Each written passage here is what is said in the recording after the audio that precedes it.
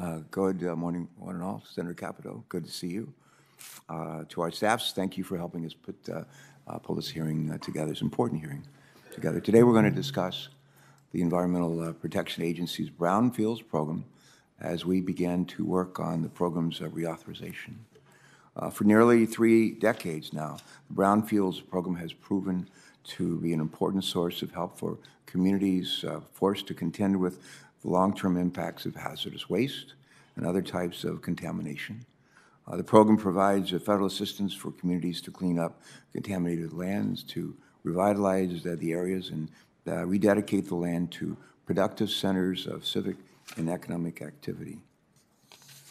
Uh, We most recently uh, reauthorized appropriations for this program with strong bipartisan support about five years ago. I think it was in 2018.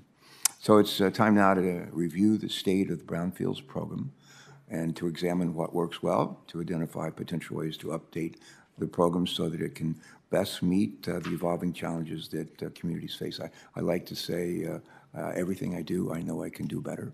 And that includes uh, our oversight of this program and the way this program operates through in states throughout the country. Fortunately, we have uh, four distinguished uh, witnesses uh, uh, joining, actually three this morning, and I think a third, uh, fourth uh, from remotely. But we have three distinguished witnesses joining us in person and another remotely. And they each possess decades of hands-on experience working with communities, working with state and with local governments um, and private developers on brownfield sites across our country. Mr. Goldstein, I think, is joining us remotely. Mr. Carrico uh, here, Mr. Busher uh, here, and Mr. Pouncey here as well. And we thank you all for joining us uh, today. I'd, uh, if, if you wouldn't mind, in, in a minute, uh, just in, introducing well, this one fellow, Carrico, uh, fellow from West Virginia. That would be that would be great. We already had a chance to chat. But we look uh, forward to hearing from uh, each of you. And before we do, we want to delve into a little bit of the history of this important uh, program. The EPA's Brownfields and Land Revitalization Program began in 1995 with the purpose of cleaning up thousands of lower-risk uh, pollution sites across our country known as brownfields. Uh, The program provided the seed money and technical assistance to state and local authorities, working with private developers to revitalize uh, these brownfields, transform them. In other words, the, the program took the adversity of pollution and turned it into an opportunity for economic uh, development and, and growth. Since that time, the program has grown in both scope and in impact. Uh, in uh, 2002, Congress uh, codified the program into law, authorizing EPA to assist with assessments, remediation, with job training, and site uh, planning. In our most uh, recent reauthorization of the program in 2018, we also broadened the types of assistance that could be provided and expanded eligibility for the, uh, the program. The benefits of this program have proven themselves time and time again. According to uh, the EPA, the Brownfields program has assisted in the assessment of over 35,000, that's 35,000 contaminated uh, properties and cleanups of over 2,300 sites across our nation, probably in every state. Um, The agency also reports that every dollar of federal assistance leverages over $20, over $20 of non-federal money for revitalization. This has contributed to the creation of over 180,000 jobs since 1995. That's a lot of jobs for a little state like uh, Delaware and even for a big state like West Virginia. We've seen the positive impacts of the program firsthand in Delaware. Since the program began, the first state has received millions in grants, helping to revitalize areas such as our riverfront along the Christina River in Wilmington, Delaware. Once a shipbuilding site uh, turned toxic site, this is a site right at, close to our train station. And uh, if you go back uh, to um, World War II, go back about, uh, I don't know, 60, 70 years ago, uh, 10,000 people worked along the Christina River, close to the train station for about a mile either way. And uh, 10,000 people, mostly women, building the ships that helped win the war in World War II. Uh, when the war was over, uh, we ended up with a toxic site, and the question is what to uh, to do about it. And what we've done about it is replaced it with uh, something we call the Wilmington Riverfront. It's now a thriving place to live and work, and we have a lot of uh, a lot to thank uh, with respect to the Brownfields program and this wonderful outcome. Many Americans may remember uh, it also is a place where uh, President-elect Biden uh, proclaimed a victory after the election of uh, two, two years ago. So as we consider brownfields reauthorization, this committee should examine whether specific opportunities to exist uh, to further strengthen uh, this program. I believe uh, this reexamination should include building upon the program's existing capacity and resources in order to help uh, local authorities with area-wide and with uh, regional planning of brownfields uh, remediation. Increased support for planning will ensure that communities are better able to maximize the benefits of projects. And as our nation continues to grapple with the adverse impacts of climate change and extreme weather, we're reminded of that today in thinking of uh, our, our, our, neighbors and, and, friends down in Florida as they endure just a terrible punishing from the uh, hurricane that's work, working its way up the coast. But the program, uh, uh, uh Brownfields program, should also encourage sustainable revitalization projects. By doing so, we can support community efforts to become more resilient to climate change while reducing greenhouse gas emissions. In addition, the program should incorporate just uh, environmental justice principles and practices to ensure that the uh, people and communities negatively affected by local land pollution can fully participate in the benefits of brownfield revitalization.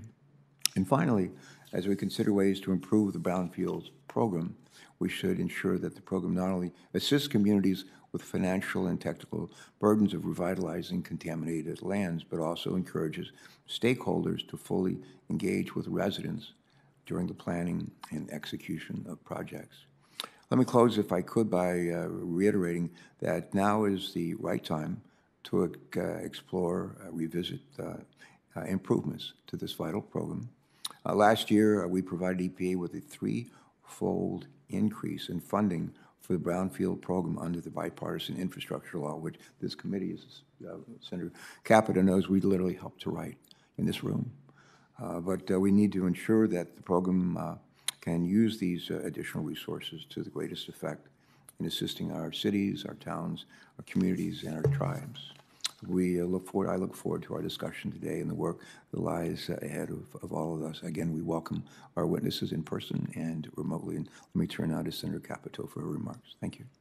Well, thank you, Chairman Carper, and I want to thank you for holding the hearing to talk about uh, EPA's Brownfields program. And I want to thank all of our witnesses for being here with us today. It's a rare occasion when an EPA program enjoys strong bipartisan support uh, along this committee's dais, as we know. Since first being authorized in 2002, the Brownfields program has become a resounding success story for our economy and the environment. And since we're on the East Coast and developed a lot earlier, we have a lot of these older sites in both of our states. Brownfields are pieces of property where redevelopment is com- complicated by the presence of hazardous contamination. A large variety of contaminated properties are potential brownfield sites.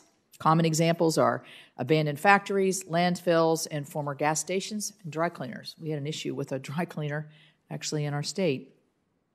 These under, underdeveloped properties line the streets of what are then bustling industrial, commercial, and agriculture areas across our nation, discouraging investment and job creation, reducing local tax revenues, and harming property values. Rather than viewing these properties as a stain on our community, the Brownfields program recognizes the vast untapped economic potential these contaminated sites can um, uh, can after they have been successfully remediated. Since the program's inception, 36 billion in brownfield grants funding has been allocated to local communities, creating about 192,000 jobs. In addition, EPA's Brownfields program is one of the most effectively leveraged financing tool across the entire federal government, providing a return of more than $20 for every dollar uh, contributed by the EPA. Brownfields grants serve as a valuable financing tool for local communities and private investors by providing reliable funding and facilitating long term reuse planning. The grants help incentivize private sector participation by reducing financial risks and shielding developers from potential liability under CERCLA. In order to be successful, the Brownfield program relies upon the establishment of effective public private partnerships where all parties have a vested interest in the long term restoration of a contaminated site. These partnerships help our local communities enjoy the benefits of economic development for decades to come. And while we all recognize the successes of brownfields, we must acknowledge as the chairman did, that improvements are needed. This is particularly important if we are to maximize that return on the $1.5 investment the program received from the IIJA. For example, Congress appropriately intended brownfield grants to be awarded on a competitive basis. However, rigorous and complex application requirements remain a continued source of confusion within the program. Applicants typically have only 60 days to compete and submit an application from the date EPA announces another year's rounds of grant solicitations. The short timeframes and complicated requirements often lead to situations where rural communities are unable to compete with their larger urban counterparts due to a lack of resources. Unlike larger cities and urban centers, local municipalities typically op- are operating on a shoestring budget, lack the good fortune of having multiple full time grant writers on their staff. This makes it an uphill battle for our rural communities when they try to compete. Uh, and as Mr. Carrico told me earlier, you lose points quickly, and it doesn't. Uh, he, he says he's had projects that have been 92s that have not made it. So it's, you can see how competitive that it is. Discrepancies in staff resources and experience impede rural communities from competing on a level playing field, ultimately leaving many promising rural broad, brownfield development opportunities unrealized in disadvantaged areas that need, really need them most. Because until you can clean that and remediate, you're, you're not going to get any development around it. EPA deserves credit for recognizing that there's a problem. One way the agency has attempted to address the issue is through the establishment of the Technical Assistance to Brownfield Community Program, otherwise known as TAB. There are six recipients of TAB funding, and I understand the Morgantown office is a TAB uh, uh, in, in, in, West Virginia is a TAB funded um, facil- uh, place referred to as TAB providers with each being assigned to a specific region in the country. TAB providers serve as an independent resource, assisting applicants with expert technical assistance and guidance to help them better navigate the brownfield application process. They serve as an important role in facilitating more grant applications in small and rural communities that lack their own grant writing capacity. So, we are privileged to have with us today someone who has worked with the TAB program and also has worked in West Virginia for many, many years, and that's George Carrico. George serves as the director of the West Virginia Regional Brownfields Assistance Center at Marshall University. He has devoted his entire career to the Brownfields arena, helping to bring much needed funding to our state and the region. Mr. Carrico, I want to recommend you for the high praise the West Virginia Brownfield Assistance Centers often receives from the broader brownfield stakeholders community. So thank you. Your forward looking and innovative approach to maximizing rural participation in brownfield grant opportunities should be a model for other rural areas in the country. I look forward to hearing about the work you've undertaken in rural areas to facilitate economic redevelopment and community vibrancy. We're also joined by Gerald Pouncey, thank you, chairman of the Morris, Manning, and Martin Law Firm. With decades of experience in the acquisition and redevelopment of hundreds of brownfield properties, Mr. Pouncey will provide this committee with a much needed perspective from the developer's side. Mr. Pouncey's past work was praised by EPA as, as a best practice in brownfield redevelopment. He continues to receive numerous accolades, having been honored as the Environmental Lawyer of the Year in 2017 and as one of Atlanta's most 500 most influential leaders. So thank you for coming today. I look forward to hearing about how private sector participation in the Brownfield program is so important to long term success. So I want to thank everybody for being here. It's important hearing. And Chairman Carper, I'll yield back to you. Thank, uh, thank you very much, Senator Capito. Mm-hmm. I, uh, I, I, just want to add the uh, a lot of people, if they watch what goes on in Washington, uh, they think we never agree on anything. Uh, you're uh, welcome to a committee today where we actually work across the aisle remarkably well. And the bipartisan infrastructure bill that the president signed into law like 10 months ago, the most um, far-reaching, transformative uh, infrastructure legislation in the history of the country. We reported it out. The roads, highways, bridges portion unanimously. Uh, we reported out the water, wastewater, uh, flood stuff uh, unanimously. Uh, we have uh, reported out, and that became really the foundation on which the, the um, um, bipartisan infrastructure bill was was built. more recently, we passed out, passed out unanimously WRDA, Water Resources Development legislation. It's for the the Senate, and um, we've done um, similar things with recycling legislation uh, this uh, this year, and so they more often than not we find the middle and, and work toward uh, getting getting stuff done. And uh, I'm a practical politician, recovering governor, and Senator Capito is very much a practical politician, and we're both West Virginians at heart. And uh, so it's, it's, a, it's, a, pleasure to work with her, her team, and we're delighted that y'all are with us um, to, to today. Um, I, uh, in, in, terms of um, of uh, uh, introductions. Senator Capito has already provided that for at least a couple of our of our witnesses. I would add to that Mr. Goldstein, who's um, an environmental law attorney and a leader in the brownfield development, I think is joining us from from Florida. He is the founding chairman of Florida Brownfields Association. I know uh, Mr. Goldstein wanted to join us in person, but Hurricane Ian has prevented his his travel. I'm glad that uh, he can join us over WebEx, uh, which I understand he's literally doing from the middle of the hurricane. My parents lived like 30 years, last 30 years of their lives in Clearwater, and uh, I think they're uh, they're under the gun there today. So we're thinking of, of them and the neighbors up and down the uh, the Gulf uh, the Gulf Coast. Um, Mr. Busher, Brad Busher, Brad, nice to nice of you to join us. The project director for the groundwork groundwork Lawrence in uh, Lawrence, Massachusetts, where I understand you've led a number of brownfields uh, re redevelopments within that uh, particular uh, area. Um, uh, Mr. Pouncey, I would add to the comments already from Senator Capito. The chairman, I, I, I, said to him before we started, I said, well, we're both chairmen, so gotta, can never have too many of them. But chairman of the Morris Manning and uh, Martin uh, law firm in Atlanta, Georgia, uh, which, along with Mr. Goldstein's firm, is a member of the National Brownfields Coalition. And I understand you're the principal author of Georgia's new Brownfield legislation as well. So it would be interesting from the insights that you will provide. And finally, uh, a friend from West Virginia, uh, Mr. Carrico, the director of West Virginia Brownfield Assistance Center at Marshall University Thundering Herd, and we are Marshall uh, which uh, assists communities across West Virginia on brown, brownfields redevelopment. I told them before we started at Senator Capito that my, my sister's a graduate, proud graduate of Marshall, and a bunch of my cousins as well. And about every 10, 20 years, they just knock somebody off in fo college football. Uh, Ohio State, I think about 15, not Ohio State, Michigan, Michigan, about 15 years ago, and earlier this year, uh, uh, Notre Notre Dame, and my sister and my cousins are hard to live with when that happens. but but but I'll get through it, and so will they. So our thanks to each of you for joining us, uh, Mr. Goldstein. Uh, we're going to lead off with you, and again, thank you for connecting with us in a, very uh, difficult and trying time in in Florida. Please uh, proceed. Thank you.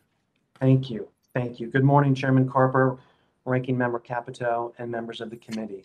My name is Michael Goldstein. I'm the managing partner of the Goldstein Environmental Law Firm, a principal of Goldstein Kite Environmental, a past president of the Florida Brownfields Association, and chair of the National Brownfield Coalition's Public Policy, Redevelopment Incentives, and Regulatory Partnerships Committee.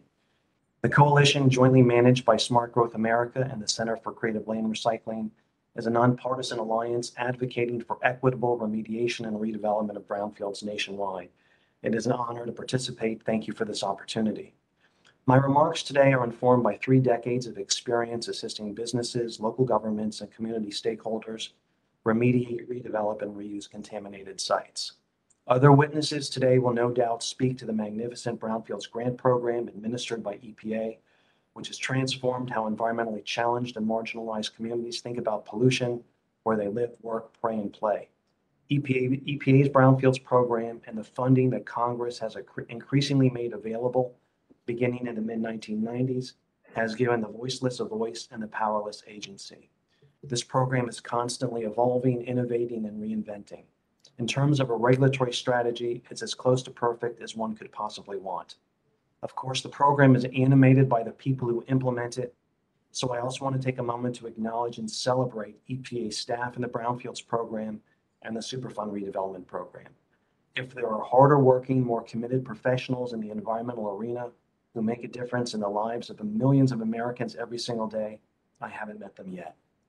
Turning to our substantive recommendations, the coalition encourages this committee to double down on the boldness of the federal brownfields program by adding to the resources that are currently available, not just enhancing those on the books. We need to add more tools to the toolbox by one, innovating legislatively with respect to financial resources, and two, providing additional mandates to certain federal agencies to increase the regulatory firepower that communities and stakeholders can tap into. On the financial side, we recommend three new discrete funding opportunities. First, as part of a reauthorization bill, renew the federal brownfield tax deduction. Before it expired in 2011, this incentive allowed a party who voluntarily cleaned up contaminated property to deduct its cleanup costs in the year incurred. A report prepared by the coalition showed that Section 198 of the tax code reduced remediation costs by one-third to one-half. Before sunsetting, it was used more than 625 times in more than 40 states. Second, we strongly recommend the creation of a Brownfields Loan Guarantee Program. This program would combine aspects of the DOE Loan Guarantee Program with a New market Tax Credits Program to leverage many billions of private sector dollars for early-stage bridge financing of redevelopment projects that are considered too risky for conventional lenders. In my professional experience, there are countless projects that fail in the concept stage because they are caught in an unwinnable position. They're not loan-worthy until the environmental risks are cleared, but the environmental risks can't be cleared until loan funding becomes available. Third, Brownfields reauthorization is an elegant and timely vehicle to combat the affordable housing crisis in this country. So we are recommending a significant expansion of the way in which affordable housing is funded at the federal level. To that end, we would like to see an increase of the 4% and 9% low-income housing tax credit under Section 42 of the IRS Code to 6% and 12% for affordable housing built on brownfield sites, a stepped-up basis under Section 42 of the tax code of between 130% to 150% for affordable housing built on brownfield sites, and a huge game changer, a new one-time LIHTC and the amount of 80% of the cost of land acquisition to develop affordable housing built on brownfields. On the agency resources side, Mr. Chairman, we believe there is a much more active role that at least three agencies under this committee's jurisdiction can play in support of brownfields revitalization: the Federal Highway Administration, the Army Corps of Engineers, and the Economic Development Administration. Each of these agencies is deeply resourced, experienced, and credentialed, but to date has been functionally absent in the federal brownfields arena. First, through reauthorization, Congress should direct FHA to provide technical and financial assistance, including grant funding for brownfield redevelopment projects that are transit-oriented, that invest in environmental justice neighborhoods, that provide multiple transit options, and that reduce the distance, the cost, and the impact on climate of connecting people from home to school or work and all points in between. Second, the Army Corps likely has the largest working storehouse of environmental data and information regarding remediation technologies in the country. Access to this information should be readily available to stakeholders everywhere. Relatedly, the Corps could and should publish guidance documents regarding lessons learned involving cleanup of common contaminants at brownfield sites, as well as emerging contaminants like PFAS. The Corps' rich experience with coastal communities creates tremendous opportunities for disseminating climate change-focused brownfield strategies. Also relatedly, we would like to see a brownfields grant program administered through the Corps that emphasizes climate change, sea level rise, acute public health risks, and environmental justice. And finally, Mr. Chair, through reauthorization, Congress should expand on EDA's mandate to promote sustainable job growth and the building of durable regional economies in two ways. First, by directing that EDA convene a national public-private summit on brownfields economic policy and priorities. And second, by directing the creation of a standalone brownfield grant program that pulls from EDA's existing funding appropriations and repackages them to be utilized for a combination of cleanup, public health, job creation, and job training activities with an emphasis on climate stewardship, energy security, and creating affordable and transit-oriented housing. The National Brownfields Coalition thanks the committee for its consideration of these remarks, and I look forward to responding to any questions. Yeah, thank you so much for that uh, thoughtful uh, testimony. I'll, I'll just say to the uh, witnesses who are here, one of the things I always look for in hearings is uh, of this nature, as uh, Senator Capito knows, is where's there consensus among the witnesses? And Mr. Mr. Goldstein's laid out uh, quite a quite a, a list there, and uh, we're interested, especially to seeing what you agree with. Maybe a couple of areas where maybe you don't, so that would be helpful. Okay, thanks, Mr. Goldstein, um, and uh, we uh, wish everyone down there in, in Florida are, are, the, are the very best, and we're here to, to help. Um, I think uh, next, uh, Mr. Busher, I think uh, you're up, and we are delighted that you're able to be here in person. Thank you. Please proceed. Chairman Carper, Ranking Member Capito, Uh, Capito. Capito, sorry, All right. and, and members of the committee. Thank you for giving me the opportunity to testify today on the Environmental Protection Agency's Brownfields program. I represent Groundwork Lawrence, where I'm a project director responsible for leading the organization's environmental improvement programs. Groundwork Lawrence is a community-based organization working to create high quality to create a high quality built and natural environment by renovating existing parks, creating new recreational opportunities, and stewarding Lawrence's three rivers. We transform vacant and contaminated properties into parks and green spaces to support healthy, active lifestyles. We are part of a network of independent, locally based groundwork trusts in 25 cities and 18 states. Trusts are established with support from the National Park Service, the Environmental Protection Agency, and local stakeholders. Groundwork Trusts deploy a collaborative, community wide, and people centered approach in the development of green spaces and the restoration of the environment in the city, ensuring all stakeholders are invested in the project. I am speaking to you today on behalf of Groundwork Lawrence about the organization's work in the city of Lawrence, Massachusetts. Located 30 miles north of Boston, Lawrence is a planned industrial city founded in the early 1840s. Central to the city's rise as a center of textile and paper production is the construction of the Great Stone Dam along the Merrimack River, which diverted water to the north and south canals to provide power to the mills along its bank. Lawrence quickly became known as the immigrant city. By 1910, 90% of the city's 80,000 residents were either first or second generation Americans. And the city had become the largest manufacturer of worsted woolen mills, worsted woolen textiles in the world. However, by the end of World War II, deindustrialization was in full force as mill owners moved their capital and employment out of Lawrence to lower cost regions. The challenges associated with Lawrence's deindustrialization are significant. Abandoned mills are impacted by polyaromatic hydrocarbons, petroleum, chlorinated solvents, arsenic, lead, PCBs, and cadmium. A wave of arson and abandonment in the 80s left vacant housing lots potentially contaminated by lead and asbestos. Multiple trash incinerators formerly located in Lawrence have all been shuttered, but they left behind soils contaminated with dioxins from burning plastics and medical waste. The city's densely populated neighborhoods frequently abut industrial and commercial areas, exposing residents to contaminants by direct contact or inhalation of vapors via migration from soil into indoor air. Many of Lawrence's contaminated properties are small and interspersed throughout residential areas and present potential risk to human health for the homes and businesses surrounding them. The Massachusetts Department of Environmental Protection lists 332 identified sites with environmental constraints spread across Lawrence's six square miles. Today, the city is an economic and cultural center of the Merrimack Valley with over 90,000 residents, 80% of whom are Latino.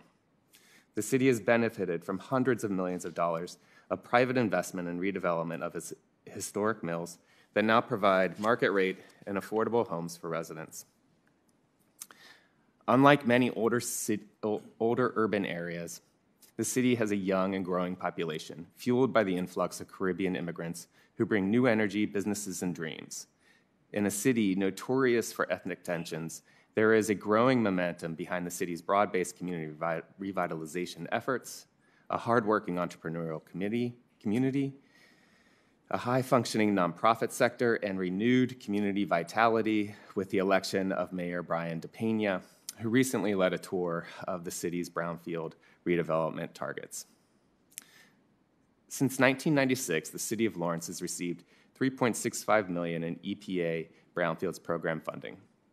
The city has successfully utilized these grants to bring forth substantial economic benefits, including leveraging 12 million in state and federal funds and 51 million in private funding to assess, clean up, and redevelop complex industrial properties and the creation of more than 200 construction jobs, as well as an additional 200 permanent jobs. This is related to the Union Crossing project. Lawrence currently has two active brownfield cleanup grants to support redevelopment of the largest remaining undeveloped parcels in the city. The most challenging project is the Tombarello site, a 14-acre former recycling facility abutting residential properties and a school with extensive PCB contamination. The other project is the Merrimac paper site, comprised of 27 interconnected, dilapidated buildings encompassing over 1.3 million square feet. Built in 1866, the site has become a perennial fire hazard, placing first responders and public health at risk. Both properties have benefited from actions taken by the EPA Brownfields program prior to the city taking ownership. EPA's Region 1 Emergency Response Planning branch undertook significant remedial actions to address imminent public health risks created by private property owners.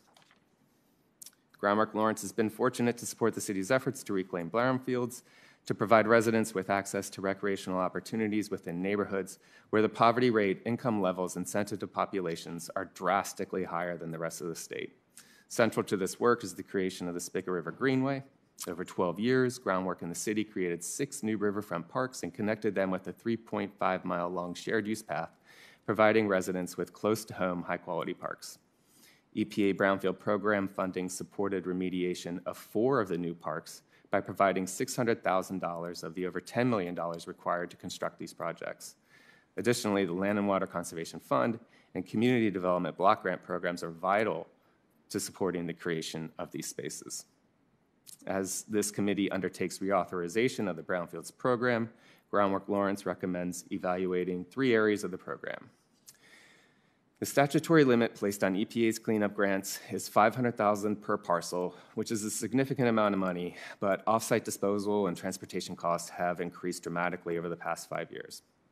Another item future legislation should address is making building demolition an eligible cleanup expense Uncontrolled demolition of buildings through fire or neglect is often the source of environmental contamination in soils that places the public and the environment at risk. Most importantly, future legislation should require strong community engagement to ensure all impacted residents have a strong voice in the redevelopment process of brownfields. Thank you, and I look forward to your questions. Mr. Busher, thank you uh, very much. Now we're going to turn to uh, Mr. Pouncey. Please proceed. Thank you. Welcome. Mr. Chairman, senator caplan, senator thank, thank you for inviting me to testify today. This is a very, this is a very personal issue to me. I grew up in a textile mill village in central Alabama, uh, where my family and I worked either in the mills or in the uh, surrounding manufacturing facilities around those mills. Both of those mills are now closed and abandoned. And so I am very sensitive uh, Senator Capito, to some of the questions and issues you raised about how do we redevelop in some of these rural or not so urban areas which suffer from the same concerns about brownfields that you suffer in the in the metropolitan areas that uh, Mr. Busher mentioned. In discussing brownfield, I think it's important to understand the consequences of the failure to clean up these sites. In large measure, these properties have either been, as is in the case with the mills that I mentioned, completely abandoned, or in some instances, they've been they are severely underutilized, meaning they are operating on a skeletal crew to avoid intentionally certain EPA permitting requirements kicking in once they're closed. They, they become significant safety hazards, particularly to, to young children, as an attractive nuisance.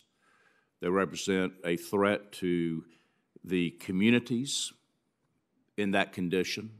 Uh, they serve as a magnet for crime in many instances, and they also invent, uh, constitute environmental risk to the surrounding communities simply because of deteriorating buildings, very often containing a number of hazardous substances. Asbestos is one that comes to mind immediately, uh, and the contamination that exists in the soil or in the in the stormwater. What I don't think we have focused on, and I'm going to take a, a little bit of, of uh, uh, departure from uh, the first two witnesses' comments, is the challenges that we have to redevelop these sites, particularly from a private perspective. They require, these sites, these brownfield sites, require a significant upfront investment in capital and in, and in cost. Uh, very often, the testing that you do to determine if the site is even viable for redevelopment, that testing can cost five to 10 times what you would do if you're developing a greenfield. Similarly, you're making that investment with no certainty that you're going to realize on the ultimate redevelopment because very often those test results may say that the redevelopment is not viable because of the level of impacts that exist at that site. So we need to recognize that challenge for a private developer coming in and making this investment, that he's putting a significant amount of his working capital at risk with no certainty, in fact, with some real odds to realize on that risk. And I'll come back to that in a few minutes in terms of the financial incentives that we've created.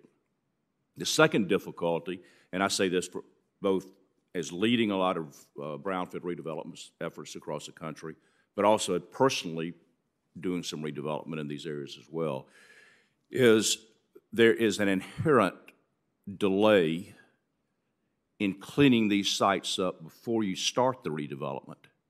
And there is an inherent additional cost that must occur with respect to that cleanup after you purchase the property. So it's not just the investment you make before you buy, it's the investment that you make after buy for purposes of cleanup. And, I, and we'll, I'll come back to that in a, in a minute as well. So the question becomes how do we create the incentive that encourages the private sector, either on its own or jointly with the public sector, to redevelop these sites? And I would offer that one of the most effective ways to do this is to move these sites to state brownfield programs that exist, in fact, in all, in all of your states and in many other states of the uh, committee members uh, that are on this committee. Uh, and I'll give you one example of the, uh, of the effectiveness of those state brownfield programs.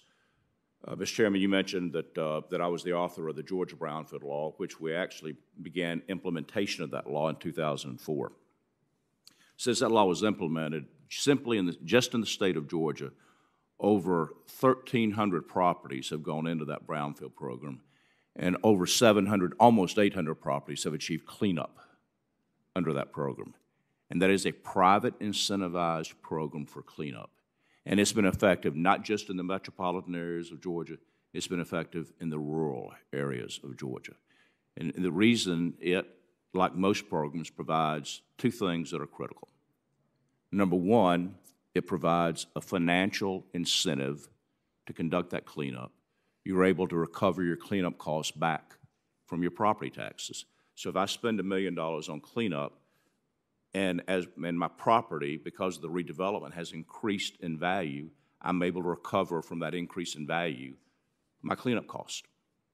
And we're also able to monetize that, which means that if I sell the property later, my buyer, who will then also benefit from that offset in taxes, that I can recover that sum from, from my buyer. That's a major incentive, which is, quite frankly, underwritten a lot of these deals that otherwise would not have occurred.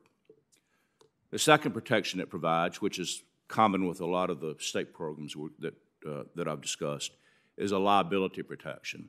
And Senator Capito, you mentioned that earlier, and that is if I'm a buyer who had no responsibility for the contamination, I didn't even own the property when the contamination occurred, and I'm agreeing to come in and conduct a state or federally approved cleanup, if I don't have certain liability protections that attach to me in doing that, I have no incentive to come in and perform that cleanup. Most of the states have recognized that and introduced these liability protection provisions, some broader than others, that give you protection and, quite candidly, and perhaps even more importantly, give your lenders protection so that I'm able to get the financing necessary to fund those projects. That also is important when we're dealing with rural redevelopment or small town redevelopment as well as urban redevelopment, is having been able to get the financing sources. The, the other item that I would note, and I- I'll pause a minute because I have, uh, oh, in anticipation of my testimony over the last two weeks, I've spoken with the heads of several brownfield programs across the South, uh, individuals with whom I deal on a, on a weekly basis. And I've asked them, what is, what is the biggest issue for them in terms of their ability to even more successfully implement these brownfield programs? And for them, honestly, it's funding for the grant programs. They, the states, we talk about where we can invest this money in, in assessments and in cleanup. And so I'd like to come back to your cleanup issue in a minute as well. Uh, d- uh, Let me just say, your, your time has expired. I'm, I'm not gonna, uh, I'm not gonna cut you off, but just keep in mind, we have other witnesses, and uh, we have to ask. Thank, thank you, Mr. Chairman. I'll tie this up real quickly. But they, the, the uh, predominant comment by all of these brownfield programs has been, we need the funding to keep these programs active. Some of them are fee-based, but the fees don't cover all the costs of the program. And that, that is the predominant concern that I hear among those brownfield programs. Finally, I would note uh, an item that my co-witness mentioned earlier, and that is, there has been a lot of money spent in these grant programs on assessment. But the real price, the real cost is on the cleanup side. And so raising the limit on the funds associated with cleanup is absolutely imperative in terms of allowing these programs to move forward. If there's one thing that I could point to, and I think that's a great comment, but that's, that's a burden where you get to the front door, but you can't get in the front door because you don't have the funds to do the cleanup. Thank you, Mr. Chairman. Thank you very, very much for that, for that testimony, all of it. Um, Mr. Carrico, you're on. Welcome. Uh, th- Thank you, Senator Carper and uh, Senator Capito. Really appreciate the opportunity to be here. I'm George Carrico. I'm Director of the West Virginia Brownfields Assistance Center at Marshall University. I'm here today to offer our experience in the value and importance of redeveloping brownfield properties, excuse me, and show our support for continuing the Brownfields program, and to offer some input on how this valuable program uh, can be strengthened. Our Brownfield Center works in conjunction with the Brownfield Center at West Virginia University. These centers were established in 2005 by state legislation to assist communities and organizations across West Virginia in redeveloping brownfield properties for new and productive use. And we've seen firsthand the importance of EPA brownfields funding, how these investments have, re- ha- have uh, resulted in, in strengthening of local and regional economies while adding new community vibrancy and resiliency to our cities and towns.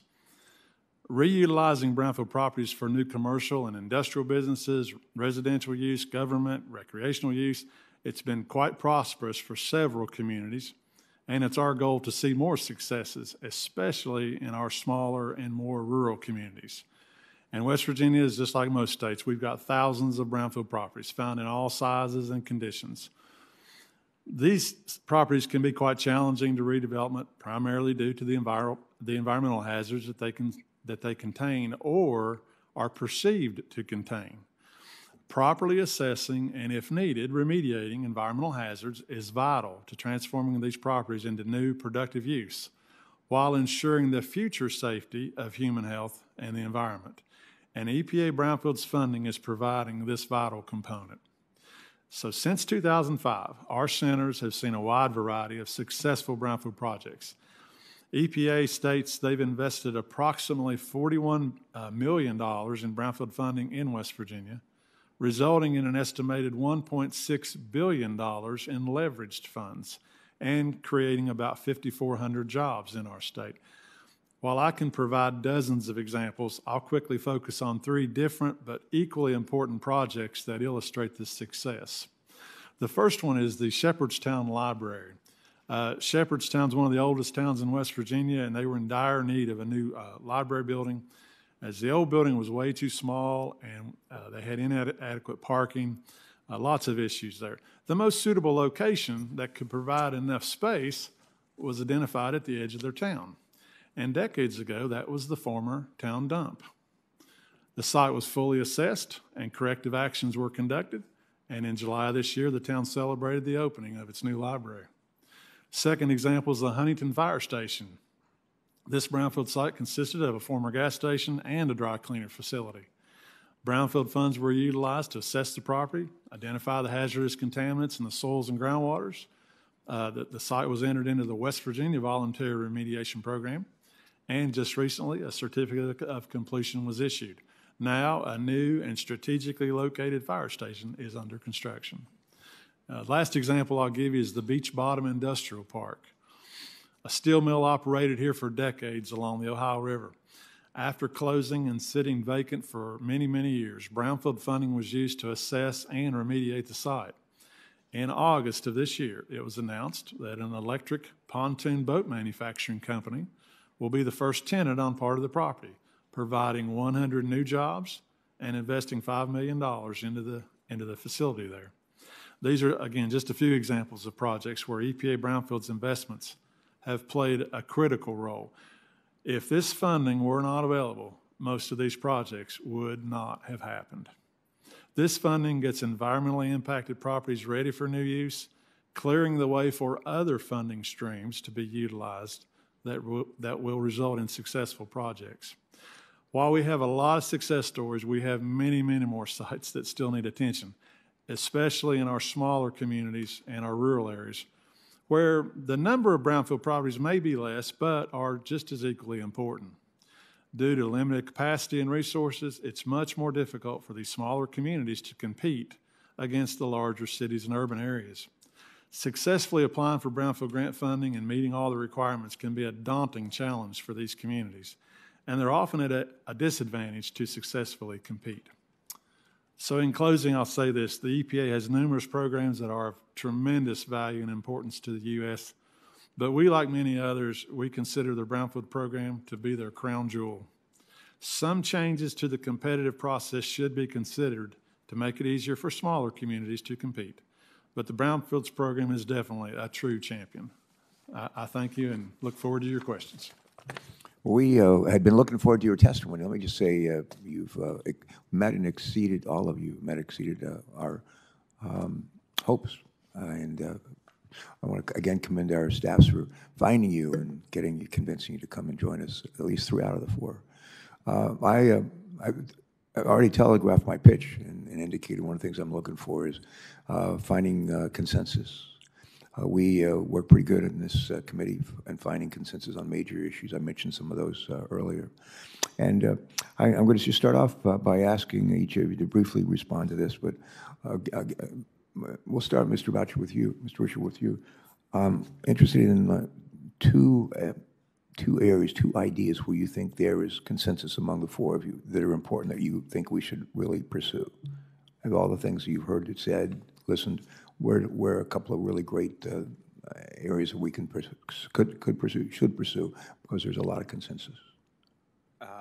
Well, I spend a lot of my time building parks, and there's never enough money to, to do everything that the community wants.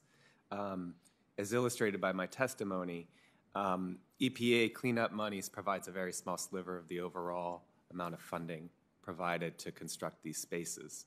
Um, communities are then obligated to maintain that engineered barrier to make sure that the space is safe for residents.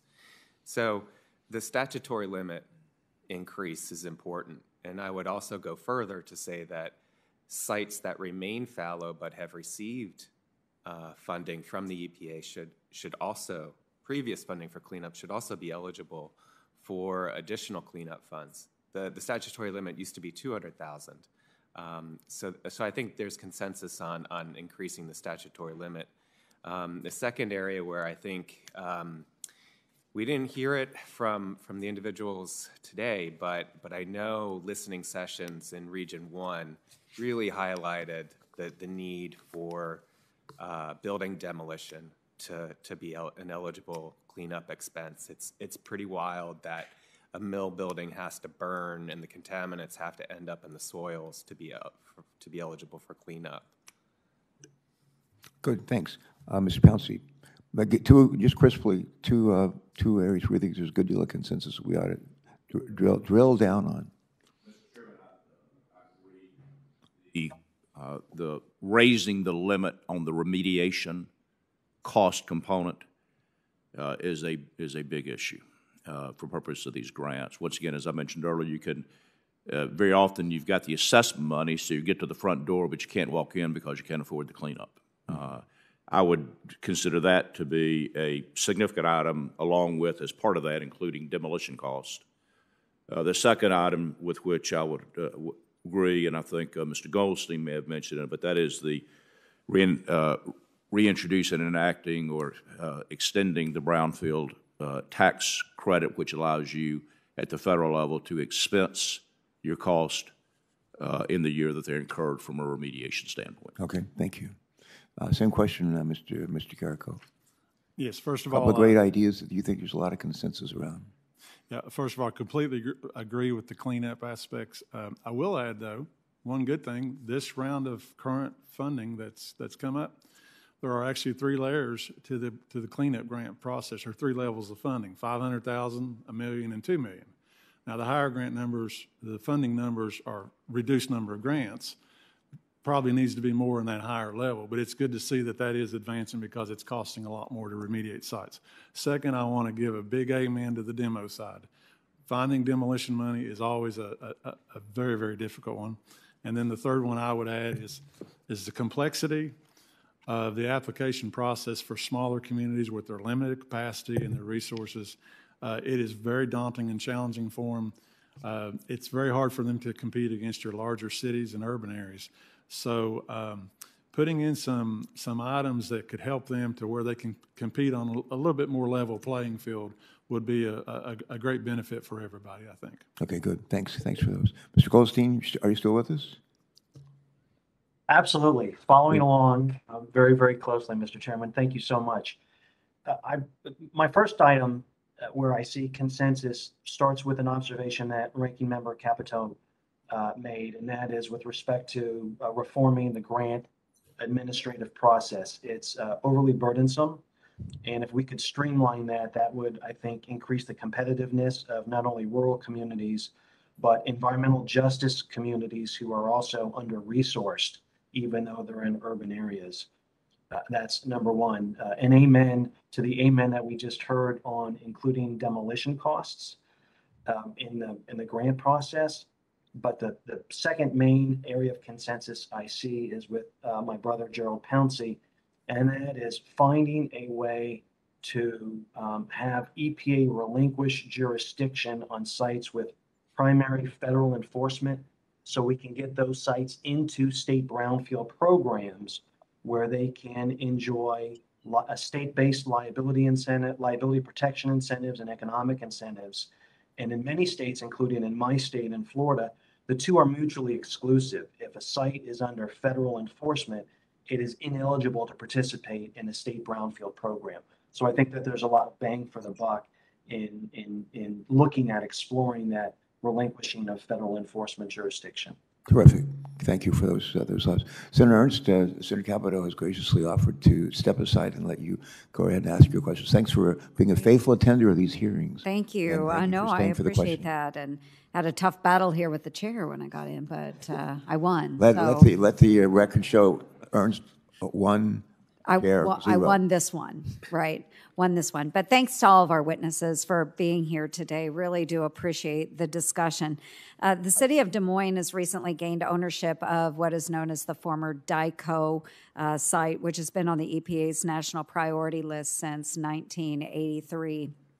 So Des Moines has actually taken a number of steps uh, for forward in collaboration with the EPA and the Iowa Department of Natural Resources to, uh, in an attempt to redevelop this property. Um, the goal is to house a professional soccer stadium and bring economic development opportunities to the community. However, there's always a however. Um, however, sites on the national priority list are not eligible uh, for brownfields funds. Uh, so, Mr. Pouncey, in your experience, how many sites have you worked with that are no longer owned by that original pollution source, such as the DICO site in Des Moines? Uh, Many, many, and it's, uh, and, and I would offer to the entire committee, and one of the things that, uh, that uh, that we have met with EPA regarding is the effort to get these sites off the national priority list so that they can be eligible for state programs that allow for the items which I mentioned earlier, which is tax relief potentially, which is liability protection for the buyer that is coming in to buy that site and redevelop the site. Uh, We have also introduced the concept of partial deletion, which means even though all of the mm. site may not be removed, at least the lion's share of the site can be removed from the NPL. So that portion we, would be eligible for the state program and can proceed through the state program. That's wonderful. I think you just answered my second question then. I was going to ask if you believed it would be appropriate for sites um, who have transferred that ownership then to be eligible for those um, Brown Brownsfields funds. Um, so absolutely, I, I think we have work to do there. We are blocking a lot of really great economic development by not engaging uh, with those properties. So um, I really do appreciate that. And Mr. Carrico, did I say that correctly? Okay, thank you. Uh, given your experience, what steps uh, do you think would be most impactful in streamlining uh, both the Brownsfields uh, grant application and the implementation process? Streamlining the process. Streamlining. That would be a wonderful step in the right direction. It is extremely cumbersome to put these applications together. Uh, I mean, we work with communities, uh, as an example, we've been doing webinars with communities this past summer, telling them about the grant process and, and helping them to understand this is not for an easy task that you're about to encounter. Trying to take them through step by step what's required in each of, in each of these uh, uh, applica- in the, the overall application process. So by being able to streamline that a little bit, uh, there's a there's so much information that's required. It gets down into the uh, things like health statistics, cancer rates, lung diseases, all these different things. And as EPA says, they, they want you to tell a good story with your application. You've got to fit the contaminants that you're that are in your community that you're looking to deal with uh, against those health concerns that and a lot of times especially in our more rural communities it's hard to get that data that can be presented so we're already at a disadvantage and then you lose points for that because you, you can't score well in that particular category um, we should put more we should make sure we keep more of the focus on assessing that property figuring out what's there what needs to be cleaned up and then figuring out the strategy to do just that. Then apply the clean- cleanup grant funding to go do just that. I mean, it, it- simplifying that a little bit is going to help all of us down the road, uh, especially again with our smaller communities. Yeah, that's great to hear. Um, thank you so much because I do think that's important as well. Let's let's get on it. Um, thank you very much, uh, Ranking Member Capito, and of course uh, Chairman Carper. Thank you. Yeah, you bet. Thank you so much. I'm Glad you conquered your chair. That's very good. Uh, Senator, Senator Cardin's joined us from, uh, uh, from Maryland, and we've been joined by the Senator from Alaska, Senator Sullivan, and by uh, and Sheldon, Sheldon Whitehouse. W- welcome, uh, uh, Ben. You're recognized. Well, first of all, let me thank the chairman and ranking member for conducting this hearing. Uh, The the Brownfields legislation has been critically important. Now, I represent the state of Maryland, so let me talk about Trade Point Atlantic, which is one of the largest brownfield sites in the country. Uh, For those that are not familiar, it was the Sparrows Point Steel Yards from the 1800s to 2012. At one time, it was the largest steel producing facility in the United States. Uh, When it shuttered in 2012, there was close to $70 million of immediate work that had to be done to clean up the environment. So today, as a result of the brownfields legislation, this uh, property has been reprogrammed. We now have Amazon, Home Depot, Under Armour, BMW, Volkswagen. Uh, we have the DOE Offshore Wind Initiative. Uh, we have, as well as large rail yards connecting to Class 1 railroad CSX and Norfolk Southern. So it is a, it is a hub for economic growth for the future, transitioning from a steel yard production facility to its modern needs. So I'm a strong advocate for brownfields and for the legislation uh, that we are talking about today. But- I just would like to focus on one aspect of it as to how we could do perhaps even a stronger job. We know that most brownfields are located in challenging communities. That's, they, these are older communities by definition and had older types of facilities.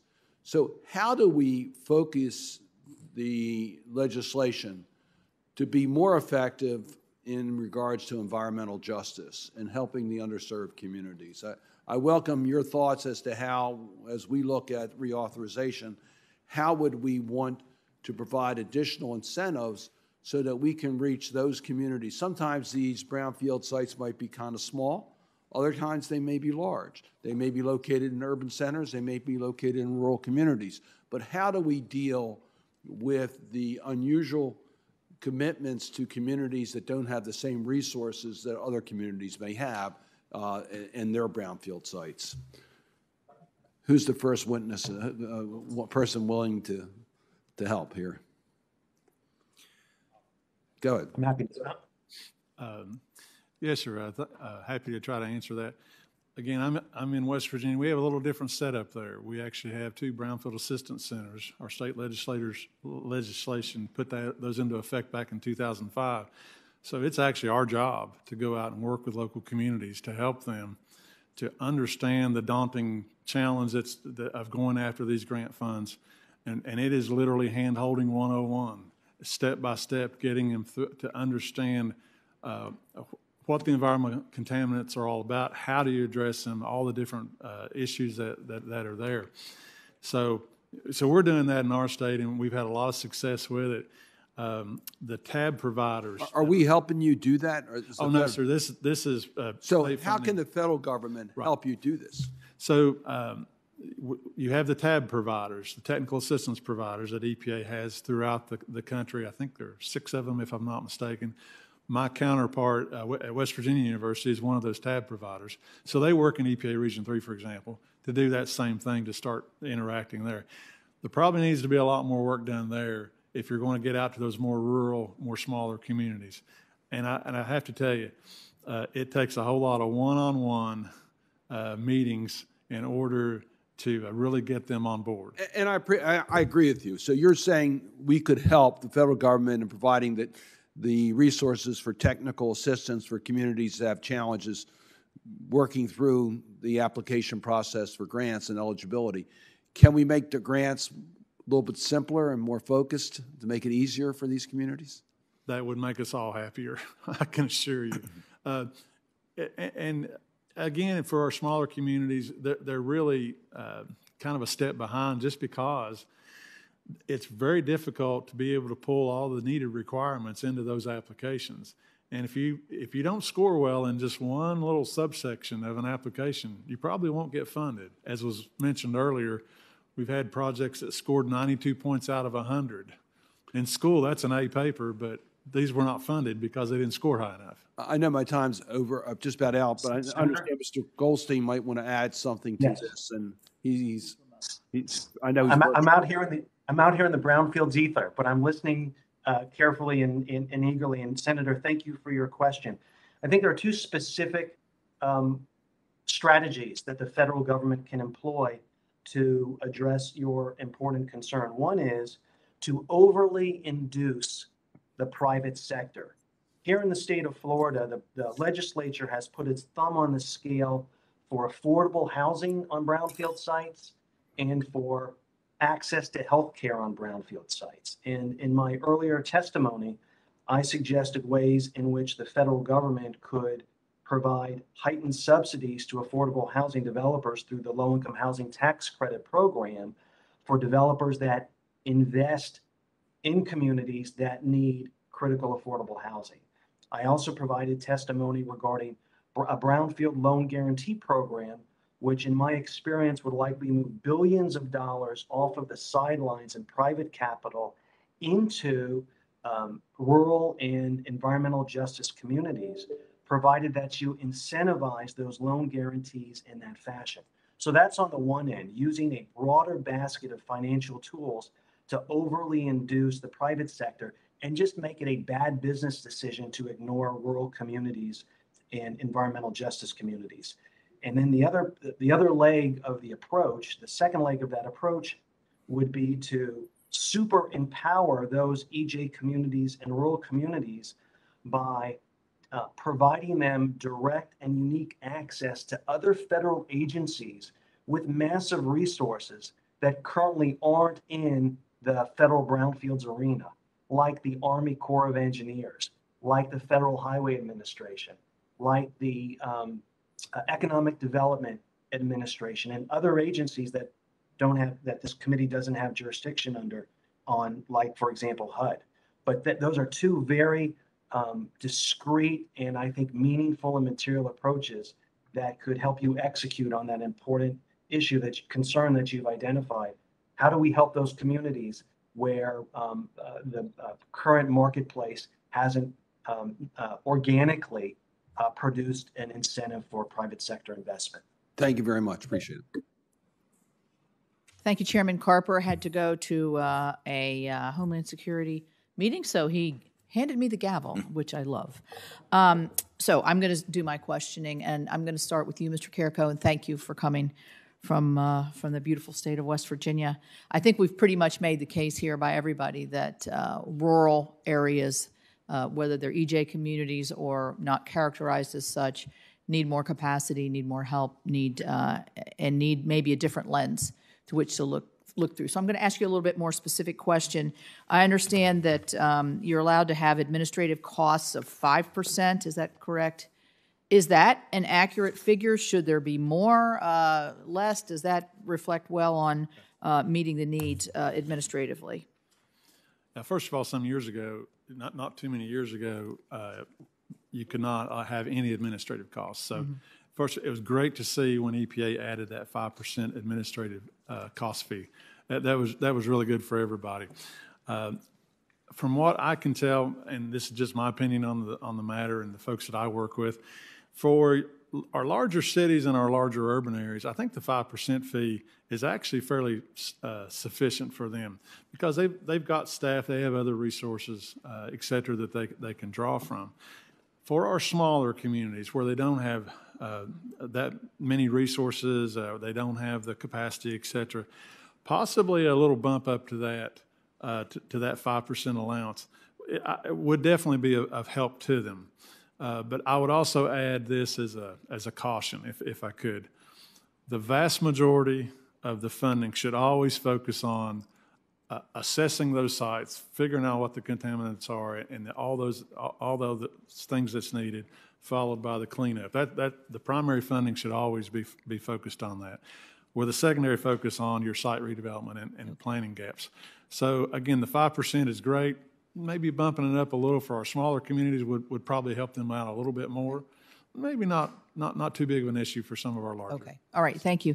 Mr. Pouncey, you, your your testimony really, uh, I think, brings into focus uh, the partnership aspect of this. So you, you talked about the state of Georgia and what, what you're doing there. Uh, uh, You've all talked about states that are, are active here.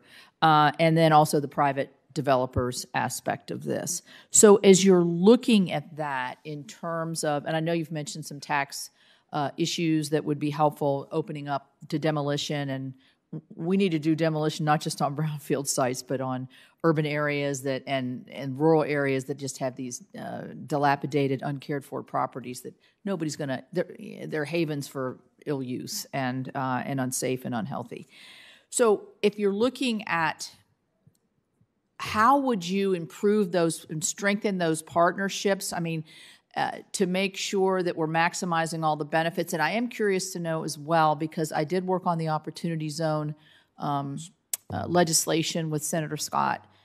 Are you, you are you all using that the? Can you use that in this whole universe of brownfield brownfield real, re, redevelopment? And has that been useful? Yeah, uh, Senator, I'll address those, excuse me, in reverse order.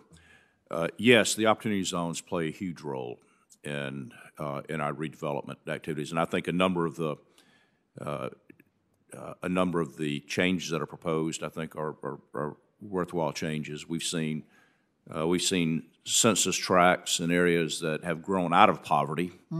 It may no longer be appropriate for treatment as opportunity zones, but, uh, but certainly they provide a real incentive uh, for patient capital to come in and restore and help redevelop some of these neighborhoods. On the public-private partnership, and perhaps let me speak to the, to the grant issue first. Uh, Respectfully, uh, we have seen many instances in which the grants funded testing, but that testing was really for no specific purpose toward cleanup.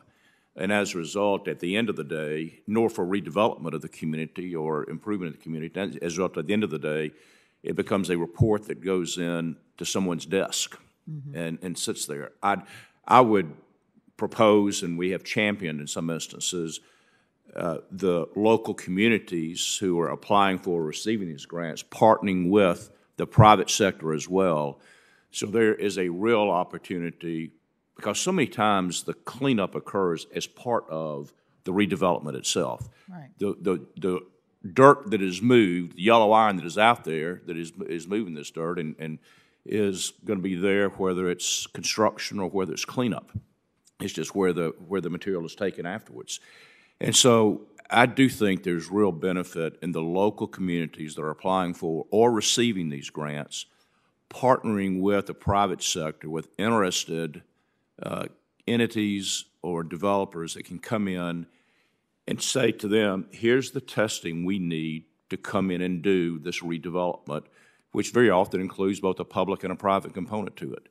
I think, I would suggest that's one way to more effectively use or ensure the effective use of these funds. All right. Is having that public-private partnership at the outset before the assessment begins. Okay, thank you. Senator Whitehouse.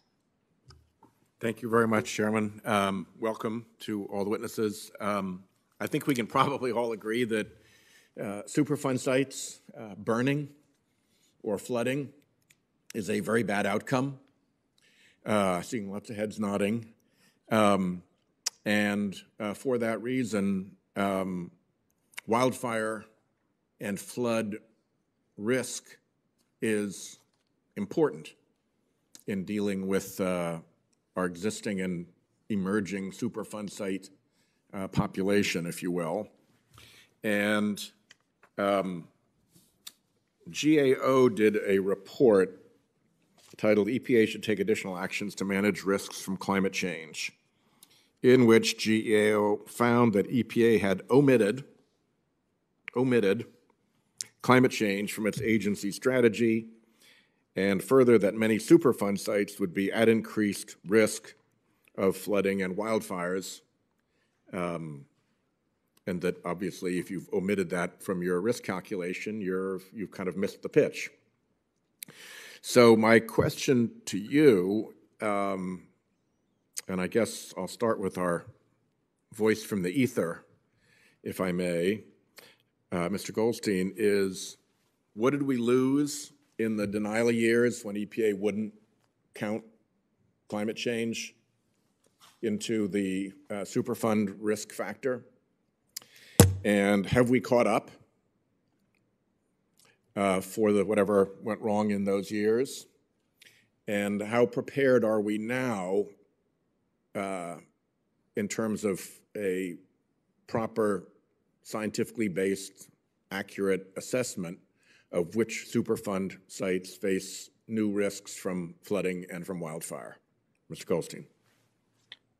Well, I, I, I think that, I think that the industry and the agencies, both at the federal level and at the state level, are catching up very quickly. There is and has been over the last, I would say, five or six years, a very uh, significant effort to understand uh, the remedies that are appropriate to implement for contamination in coastal zone areas that are acutely subject to sea rise, and whether those remedies uh, should continue to include encapsulation of waste on site or, or source removal. This is an ongoing discussion that has technical implications, regulatory implications, legal implications, economic implications, and um, uh, equity implications. Uh, not all cleanups are created equal, and not all cleanups are are are financially uh, sourced or viable in the same way. And this goes back to some of the testimony that we've heard in this hearing and some of the testimony that I provided regarding the ability of the federal government to achieve better outcomes and better results in the age of climate change by um, putting our thumb on the scale with respect to certain outcomes and approaches to cleanup. Where here specifically, we could, uh, the legislature could, Congress could prioritize source removal uh, in coastal communities, the removal of all impacted contaminated soil or sediments, so that when waters rise from below or fall from above, the uh, caps that are in place, which may no longer be an effective remedy, uh, are are not an issue because the the uh, source of contamination Thank has you. been removed. Um, I've got a minute left, so if I may, let me ask the other witnesses to offer whatever thoughts they may have in response to those questions as responses for the record and put them in writing. It wouldn't be right for a Rhode Island senator not to say a kind word about uh, the Rhode Island role in establishing brownfields, um, led by uh, chairman once of the Environment Public Works Committee, John Chafee, whose picture is right in that room as one of the uh, former chairman of this committee, and then reauthorized by his son, Lincoln Chafee, uh, years later when he uh, assumed his father's seat. So we take a certain amount of uh, pride in the Brownfields program around Rhode Island because it has good Rhode Island fingerprints all over it. Uh, another Rhode Island credential that relates to this is that um, the Rhode Island Coastal Resources Management Council and the University of Rhode Island have worked to improve the mapping of flood risk along the Rhode Island coast because we discovered that the FEMA mapping was absolutely horrible. It was terrible. If you followed the FEMA mapping, it led to internal inconsistencies within its own program. It produced results for worse storms that were lower than what was measured for actual less bad storms. It's like, how is it possible that you could come up with a flood risk map that shows for X level of storm it's going to be better than we actually experienced for a lesser level of storm? It doesn't even make sense. The sloppiness of the FEMA process, the inconsistencies within the FEMA process, and the flinch that they had about looking at sea level rise because, oh my God, you might have had to touch on climate change, and oh my God, we can't talk about that. It just created a disaster. And uh, the state really stepped up and has done absolutely first quality mapping. And I encourage anybody who is in that predicament now to take a look at what Rhode Island did. The Storm Tools, it's called the Storm Tools app and uh, uh, resource, is really pretty remarkable. Unfortunately, it tends to be coastal, but I'm sure that in West Virginia, some of those rainburst storm floods have a similar uh, outcome on, on folks. So I'll just want to say those thank yous to uh, Rhode Island. Much appreciated. Well, I'll thank Rhode Island as well, and I can t- speak to the two, 2016 flood where the maps in Rainelle showed that uh, there would be no flooding, and they were flooded, I don't know, six to eight feet in these houses. And if you talk to people in the community, they would say, "Oh, sure, sure, they flooded. That they get water in their yard every spring, so they knew." But the maps showed no, and these folks hadn't bought any flood insurance, so it didn't have a very uh, a very happy outcome for many of them. So here's a question I wanted to ask everybody. So you've, we've talked about successful brownfields um, applications and projects that you've worked on. Have you ever had a project where you looked at it for a brownfield and you deemed that it would be a not worth the effort or something that was premature? Um, I don't know. We'll start with you, Mr. Carrico, and then we'll go back to the whole group. Uh, Yes, ma'am. Uh, And the answer to that, short answer is yes. Uh, Many times we interact with the community. I- I'll give you an example in, in the little community of Mullens, had a little project there, and all they needed, when all, all said and done, was about $30,000 to do some asbestos abatement. The EPA Brownfields program is not the route to go to try to go get that funding. Uh, It's just way too much effort and, and for, for that one single project we do often sit down with, especially again, our smaller, uh, more rural communities. And after meeting with them, going through all the details, we tell them, you're not ready to try to get into this Brownfields arena. Maybe then we try to help them with one particular site. You know, they have They, they've got a little site inventory, and it's their, their most, uh, it's their highest ranking site they want to try to, to, to do something about. We try to work with them on that one site, and that kind of gets their appetite wet and gets them to learn the process a little bit, and then prepares them to where they can move on, you know, forward uh, into the Brownfields arena. I'll, I'll let these other fellows Yeah, Mr. Pouncey. comment as well.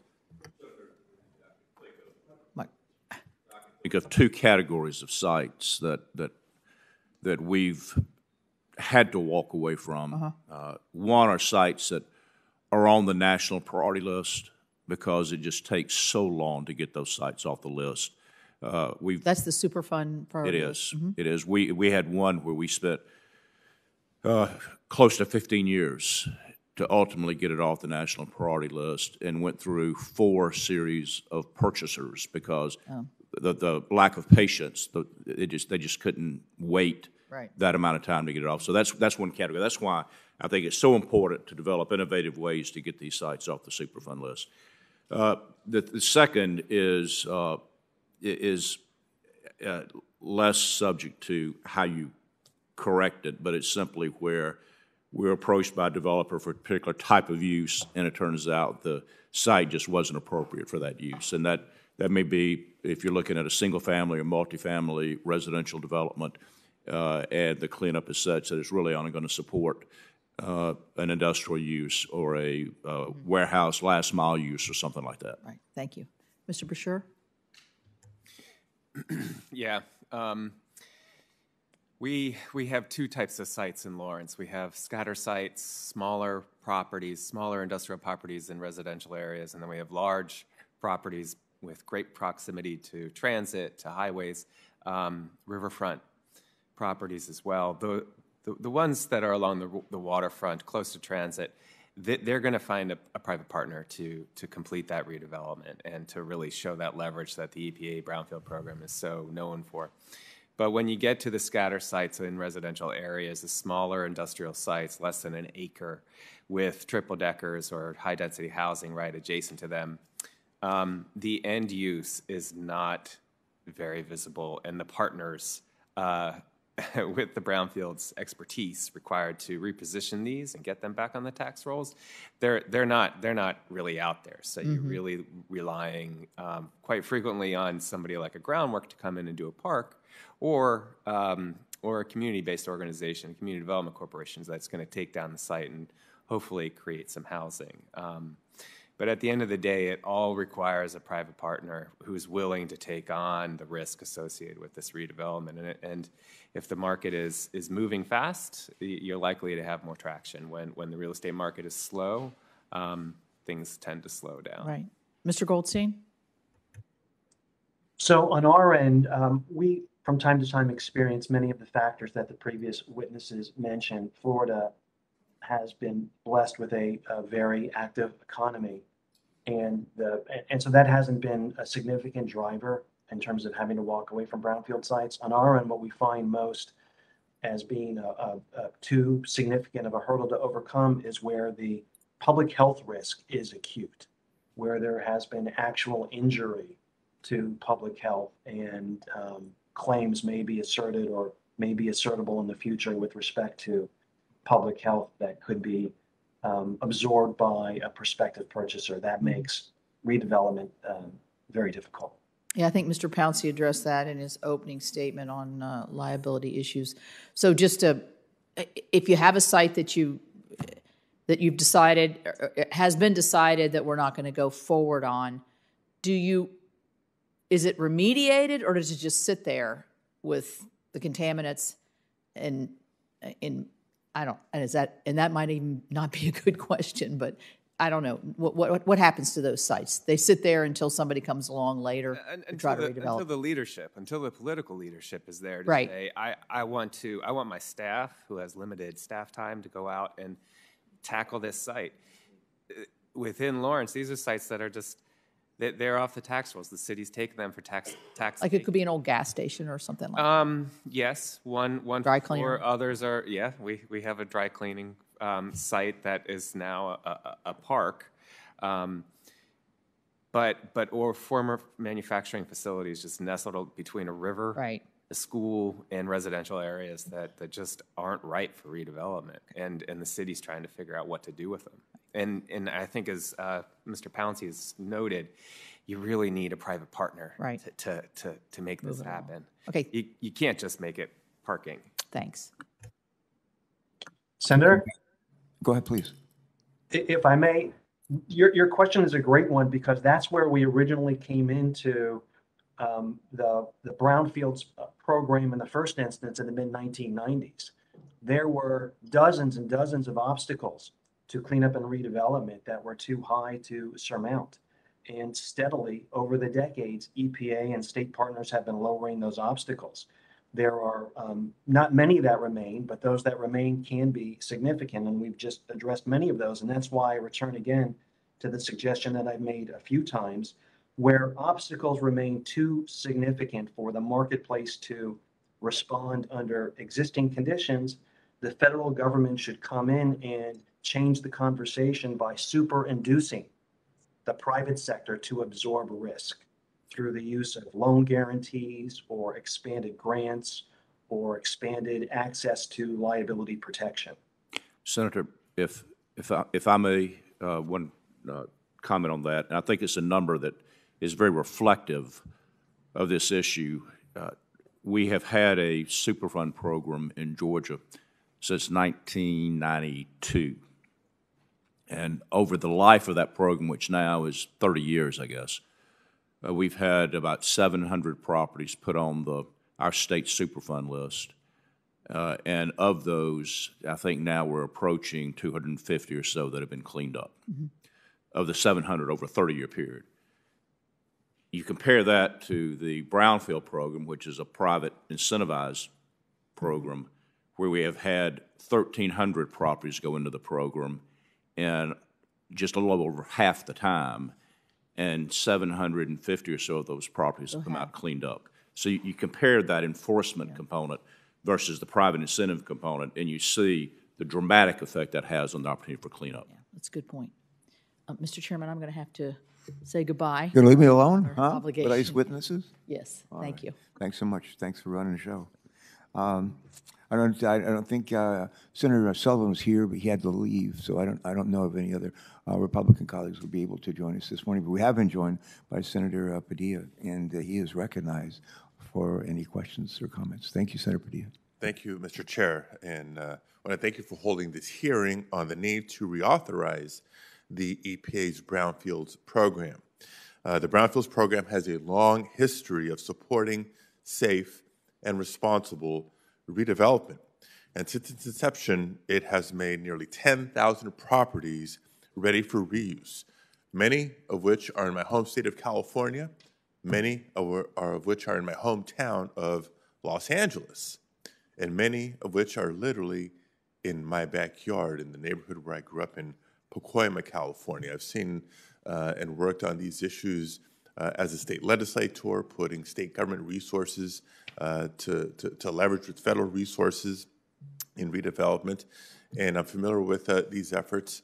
Uh, once upon a time, as a city council member, trying to navigate some of these cleanup efforts and uh, efforts at redevelopment for uh, productive use and economic benefit, often in, in underserved communities.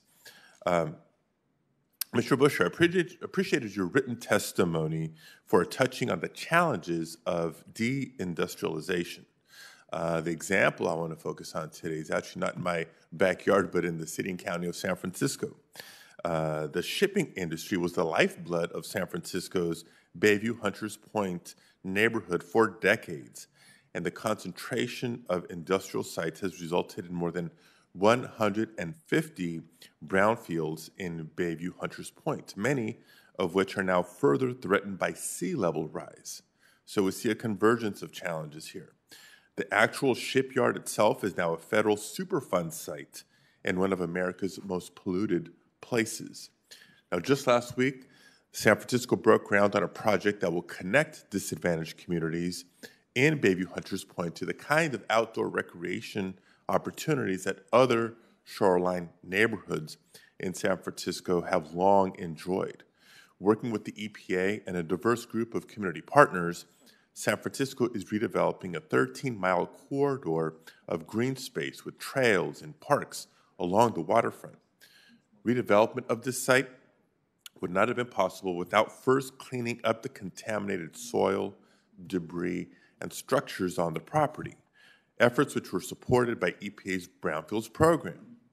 Now, in a few short years, thanks to this program, the community members in Bayview Hunters Point will be able to enjoy shoreline trails on what was once an abandoned and blighted former industrial site. Now, this project was successful thanks to the engagement and support from various state and local entities. While the project received almost $350,000 from the EPA Brownfields program, the city also leveraged separate EPA funds as well as other sources of funding. But not every environmental justice community has the same access to technical assistance to be able to complete projects. There are surely other federal agencies that can and should be brought into the brownfields redevelopment projects. So my question is actually for Mr. Goldstein. How should we think about a whole of government approach to funding brownfield redevelopment projects and improving interagency coordination? That is a great question, Senator. I'm glad you asked it. Uh, You're absolutely right. There are other agencies that should be part of this conversation and should be providing resources. I identified three that are under this committee's jurisdiction in my testimony earlier this morning. The um, Federal Highway Administration, the Army Corps of Engineers, which has massive resources to bring to the table and can absolutely partner and collaborate with environmental justice communities in an immediate and very material way. And um, the Economic Development Administration. The uh, EPA has put out a wonderful guidance document, which they've been doing every several years, called the Federal Brownfields Program, which identifies aspirational brownfield agendas within 24 different federal agencies and departments. But if you look at what's actually happening in the uh, brownfields universe, really EPA is the only agency that has any meaningful involvement. So what I would suggest is um, a, a corollary to a friendly amendment to the testimony I gave earlier. Have EDA convene a national brownfields summit bring representatives from each of those 24 agencies and departments to the table, along with private and public sector stakeholders, state, local, tribal, NGOs, environmental justice, et cetera, and collectively identify what resource, human resources and financial resources each of these agencies that are already part of the federal brownfields constellation can bring to the table.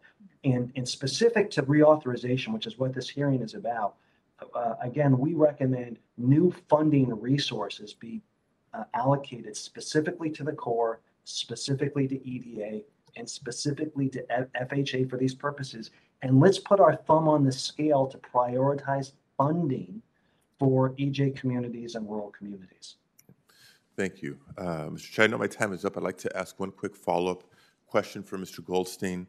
You know, another reason this uh, project was so successful is because San Francisco accounted for potential climate change and sea level rise impacts by using EPA's Brownfields Cleanup Alternatives checklist. For example, they chose soil excavation as the preferred cleanup method as opposed to remediation uh, because it would reduce the risk of remobilizing soil contaminants as sea levels continue to rise.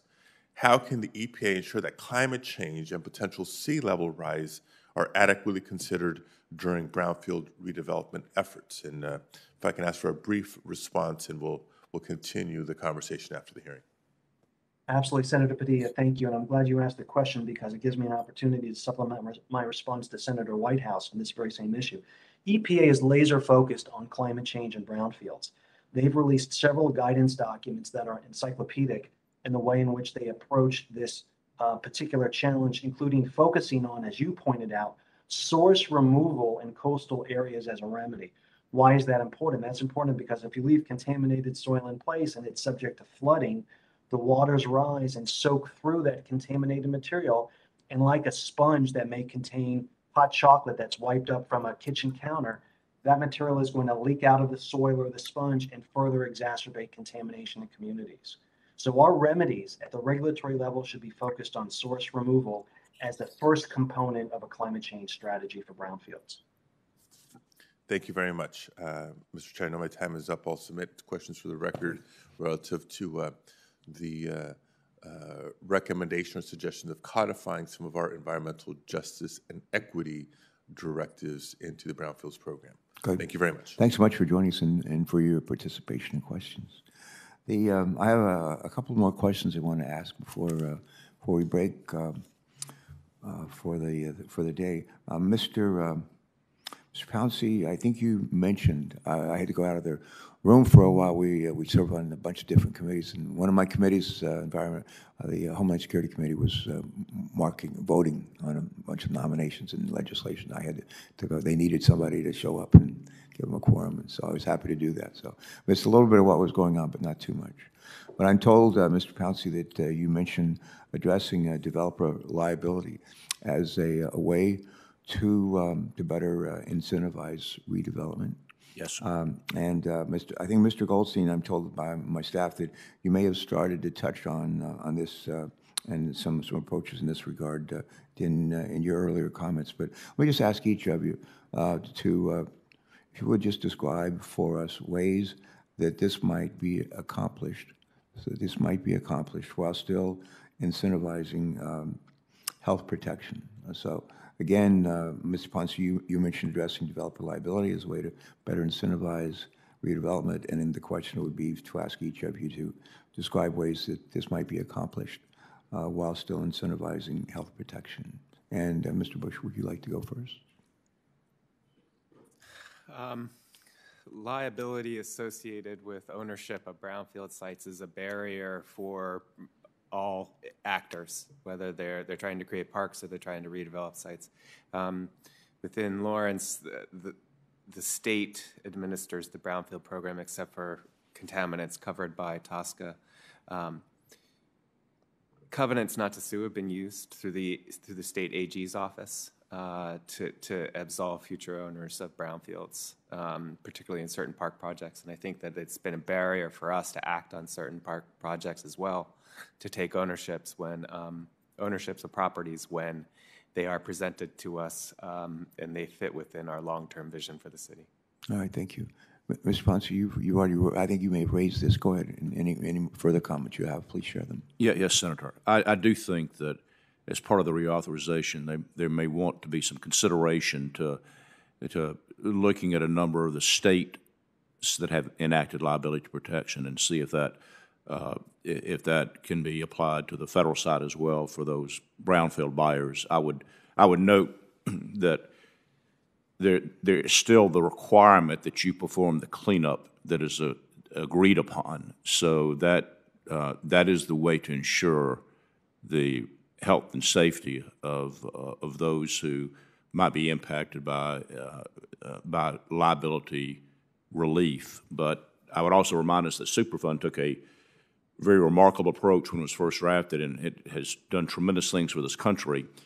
Uh, but it did impose the liability upon an owner of property, whether they had caused the contamination, whether they had owned it when it occurred or not. And so I do think that that is a disincentive in many instances for buyers as, as they have an opportunity to acquire this property versus a greenfield. Uh, very often they choose to invest their resources somewhere else, which prevents that property from actually being cleaned up. So I do think liability protection is a tool that should be considered as part of the reauthorization. All right, thank you. Uh, Mr. Carrico, same uh, question. Could you describe for us ways that this might be accomplished while still incentivizing uh, health protection? I want to completely agree with these, with these gentlemen here. Um, One thing in West Virginia, I would add that, you know, we have our, our state voluntary remediation program. And that program does provide that liability protection. And that's oftentimes the only way you can really get a site to be cleaned up, ready to go, and everybody on the private side agrees with you. They, they see it, they, they realize that, that all the effort has been made. And um, uh, that to me is one of the best routes to, to always try to, to keep in mind.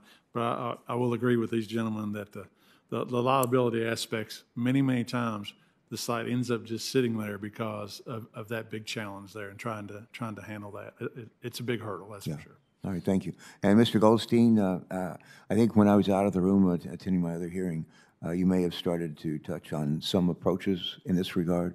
Uh, So, Mr. Goldstein, if you have, uh, if you'd like to just jump in here and share with us what I may have missed, anything else you want to add on this front, go ahead. Thank you, Mr. Chairman. I'll, I'll try and be brief.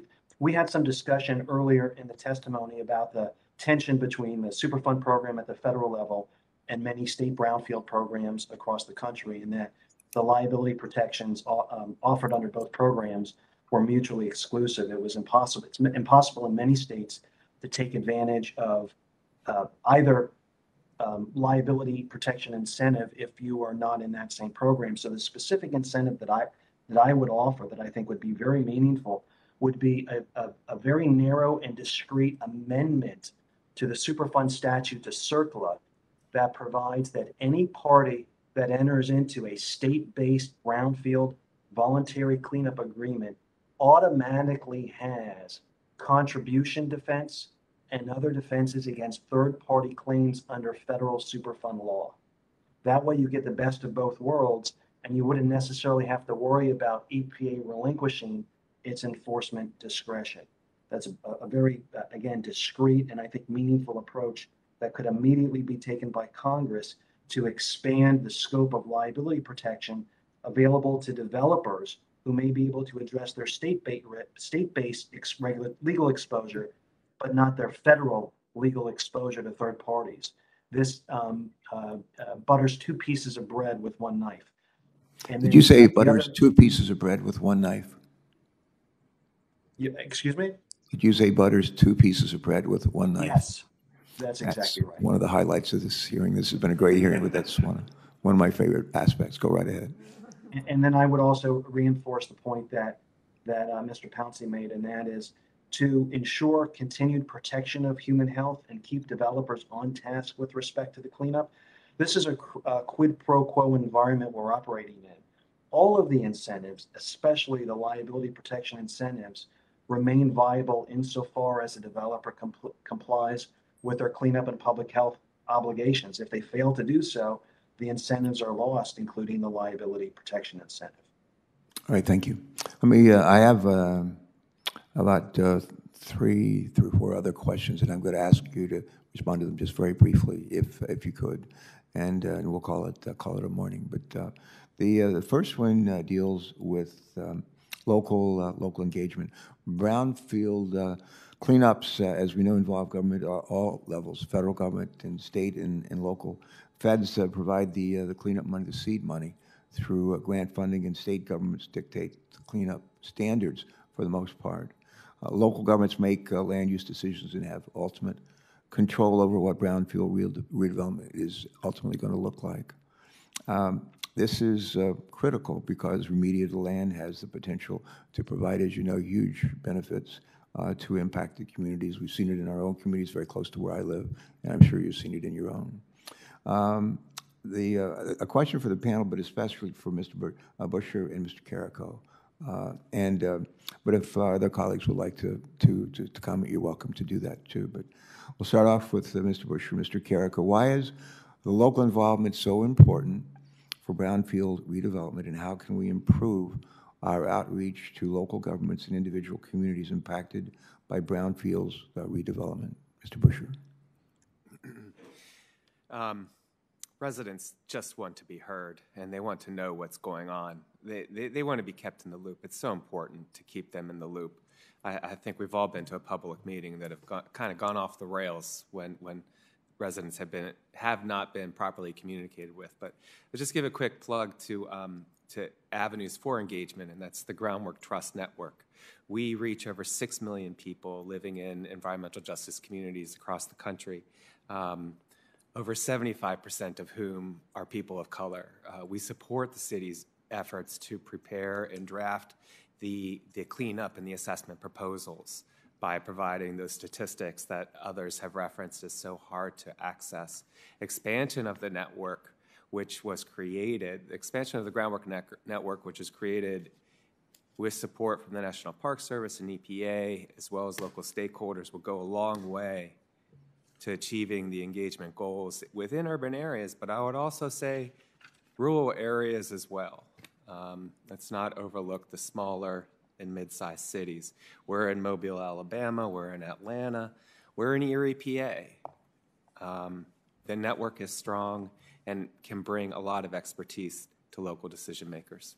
All right, thank you. Mr. Carrico? Yes, first, first, uh, uh, great comments there. Uh, The big thing we find on the local community with, with- with that local engagement piece is they want to be told the real story. The, the rumor mill goes around and around and around, and a lot of times you, they, they are misinformed about a particular property as to what it can or can't be uh, uh, used for, and then what's going on with it. Uh, providing that local uh, engagement piece, that gives them the opportunity where they can be heard and they can provide their input on uh, on what's going on on that property, how it how the future redevelopment of it's going to uh, affect them, and and then when you do run into issues at the local level, it that, that platform can then be addressed. And this brownfield program, you know, the way it's set up uh, with that local engagement and community engagement piece, it, it provides that that framework, if you would, where that that can be conducted. So uh, it, it's a great way to get the story out, get everybody involved, and come together with some consensus on on how everything is progressing forward. So that that would be my comments. Yeah, to thanks, Mr. Carrico. And, and uh, if, uh, uh, Mr. uh, Pouncey, if you want to add to that, feel free, and uh, Mr. uh, Goldstein, if you want to add to those comments, feel free, but you don't have to. Go ahead, Mr. Pouncey, any? The, uh, the comments uh, by those individuals to my right and left are, are- are spot on. Uh, And, and fundamental part of all of our redevelopments is engagement with those local communities, and that's a fundamental part of the zoning process. And I, I do not see very many developers that are successful if they don't understand that fundamental. Yeah, people like to be asked. People like to be asked.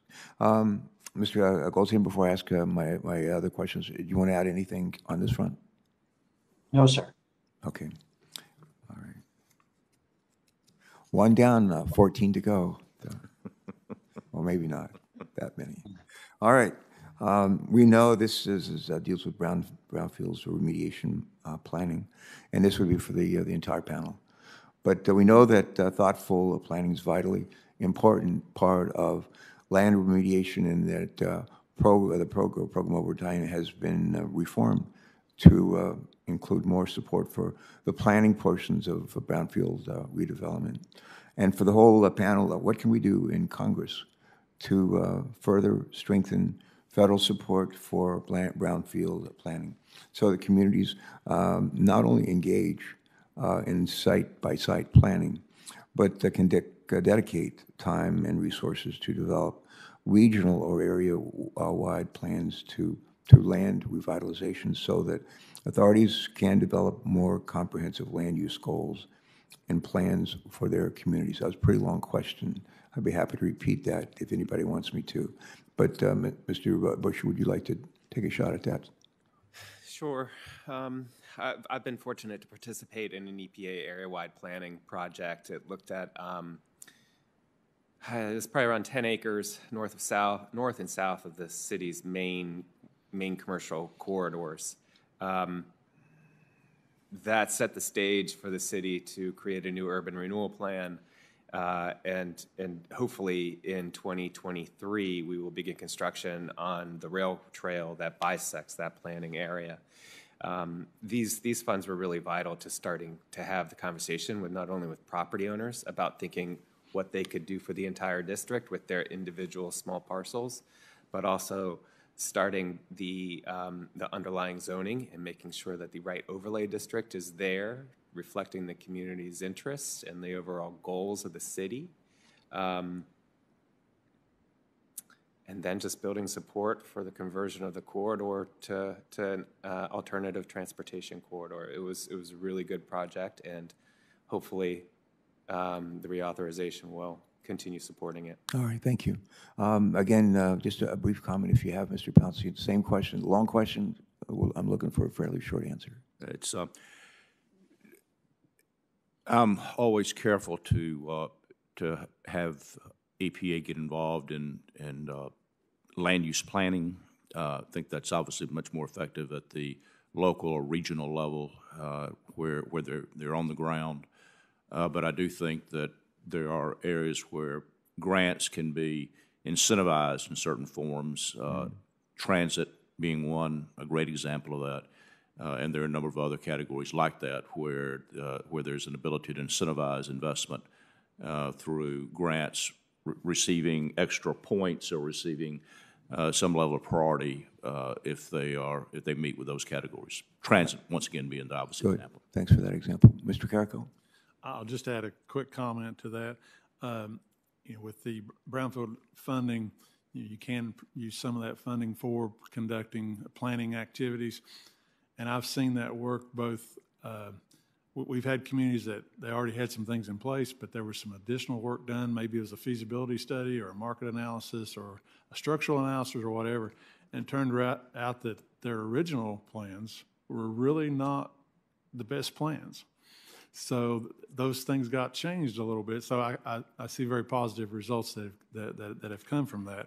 But again, that, that has to be done at that local level. And uh, uh, having our brownfield funding to help with that is, is a, is a big key. That, that, that's part of the whole cleanup plan is, is that, that, that key right there as well. All right, thank you. Um, oh, About two more questions, if I could. Uh, uh, It's been uh, well uh, documented that uh, lower-income communities and racial minorities uh, are disproportionately exposed to environmental harm. We've seen that in my own uh, state, in fact, frankly, not far from where my wife and I live. But there are concerns that development of brownfields can do unintended harm by displacing the, the people who live there. For, for example, with remediation, there can be an influx of zoning planning and privately funded new development that can turn, uh, can in turn uh, cause rents to rise above what community members can, can afford. And again, for the, the entire uh, panel, this question, how can we incentivize private entities that invest in brownfield development to ensure that remediated sites benefit the communities where they are located and create sustainable, long-term in infrastructure improvement for community residents?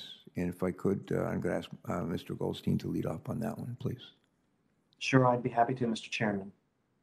Uh, And, and this is the uh, unfortunate secret uh, in our, in our world, in the brownfields redevelopment world.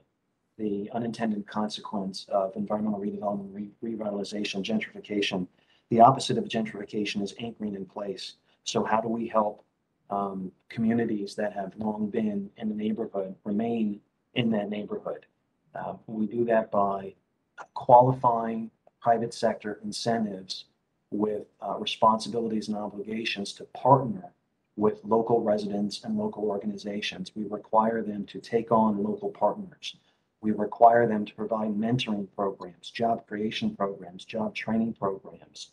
We require them to establish micro lending programs, to invest in cultural amenities, in, um, in gathering places and the like. And all of this uh, could be um, uh, included in what one might call generically a um, anti- anti-gentrification plan, which could be uh, a, a, a, a condition to the award of any federal brownfield grant. All right, thank you. Mr. Carrico, same question. I, I really don't have any additional comments to make on that. All right, thank you, sir. Mr. Mr. Pouncey. It's a, uh, it is an issue, and, and we see it. Uh, We've, uh, we've seen it dealt with at the local level. I can point to a number of developments that, that, uh, that I have uh, been involved in in Charleston, South Carolina, where there's been a tremendous amount of public involvement and comment uh, to ensure that the local communities are not just informed, but also involved and, and participated. I, I don't know the, uh, the federal role in that. Uh, where I have seen it most effectively considered has been at the local level. Okay, good. Thank you. Mr. Busher? Uh, Green gentrification is a concern for groundwork and our, the work we do within the city. Uh, Displacement is an issue within Lawrence. There is a significant housing crisis and there's a significant affordability crisis. I, th- I was intrigued by some of the con, uh, concepts Mr. Goldstein put forward earlier that, that called for enhanced low-income housing tax credits associated with brownfield development to actually make it more appealing to private sector developers to come in instead of doing full 100% market rate housing, that perhaps there's other incentives that can be provided from the federal government to make sure that a certain share of those units created fall to those who are most unable to afford housing within that city. All right, thank you, sir. And one last question. This uh, would also be a, a question for the the entire panel, and the the question goes something like this: Before uh, we uh, discussed earlier, we discussed the detailed policy issues, and I want to ask each of you to just share with us um, briefly your experiences on on what the Brownfields program has meant uh, to communities you work with. Um, Can, uh, can you give some idea of uh, your, uh, um, some briefly, uh, an experience or two that, uh, that you've gone through and how the program has transformed not just land, but the lives of people living in aff- affected communities? So something from your, from your own experience, Mr. Carrico, would you like to share with us a memory or two? I could actually talk for quite a while on that subject. I'll just share with you, I shared a couple examples in my uh, comments earlier, but one that's uh, very int- interesting and close to my, to, to me is uh, a little project in Ceredo, West Virginia. There- Tell people where Ceredo is. uh, It is in Wayne County, uh, near the tip with uh, Kentucky and Ohio. There you can see both from there. Um, There was, there's a group called the Golden Girls Group Home, and uh, I yearn to live there someday. In the distant, distant future, don't tell my wife. uh, great, it's a great name, but uh, it is a home that was built for uh, young ladies that have came, I'll just say, from horrific home conditions. And it's a place for them to get a second chance. Oh, that's get a new start. They get safe housing, they get counseling, uh, they get uh, help with educational assistance and work uh, and to find jobs. It is a wonderful program. They first approached me back some years ago about a particular piece of property and said, We hope to build our facility there. I did some research on it. I'm an environmental geologist with trade, so I have a background in that. So I did a little look and I said, You know, there are some issues with this project. Rather than getting into the brownfield side of it, I said, Do you all have any other properties? They said, Yeah, we have a second location that just came up, and we think it could even be the better location. So, real quick, uh, did a little look look into that, and I said, You know, it's a vacant property that nobody seems to know anything about. So let's find out for sure. We used, uh, we, we had the Wayne County EDA, they had a Brownfields grant, and I was working with them, and I said, let's, let's do a, a phase one environmental site assessment on the property, just to see what's the, the history of this site, to make sure there's no recognized environmental conditions. They did a phase one, at that time, I suspect that cost was no more than about four thousand dollars. Mm-hmm. And it, and there were no recognized environmental issues on that property. That jump-started it and cleared the way for, I have no idea how many private investors that came in, the local hospitals, local businesses. They all said, okay, we, we, we see you've done your homework and we want to be involved with this. And now the facility's been built. All these young ladies, they, they go there, they have a place to stay. Uh, it's a, th- those little stories like that really make your day, quite frankly. And it all got started because we did a little background work just to make sure they weren't getting ready, as we say in West Virginia, to buy a pig in a poke. Well, Getting ready to take on something that had environmental challenges that they would not be able to handle. that's a great story. And, and We don't like- any more, but I'll stop there. No, that's great. That's great. Mr. Pouncey? Yes. Senator, uh, there's one particular project that comes to mind. Back in the 60s, when the interstates were being built, uh, when what we call our downtown connector in Atlanta was built, it split the east side and the west side of Atlanta. Sounds familiar. There's a lot of places like that around the And, country. and that, uh, and all of the growth occurred on the east side. The only thing on the west side was a little school called Georgia Tech and, uh, and an area, at at an old hundred acre steel mill called the Atlantic Steel Mill. It, uh, it was operating on a skeletal crew, so it avoided some of the EPA closure requirements. It was still considered to be, quote, operating. Well, in the late 90s, we put together a group that ultimately redeveloped that steel mill. It had lain uh, in its underutilized capacity for about, I think at that time, for close to 20 years. Uh, and what it did is it sparked so many things on the west side of Atlanta, ultimately resulting in a bridge that now connects the east side and the west side of Atlanta up in that area that we call 17th Street. Created grocery stores in areas that had no grocery stores. Created affordable restaurants in areas where I had no place to eat. Resulted in additional schools being built. Resulted in significant infrastructure improvement. All of that was started, the seed that was planted was the Atlantic Station redevelopment. And fortunately, we, uh, it did receive uh, EPA's Brownfield Redevelopment of the Year back in 2000. Oh, that's great. Wonderful story. Thank you. Uh, Mr. Busher?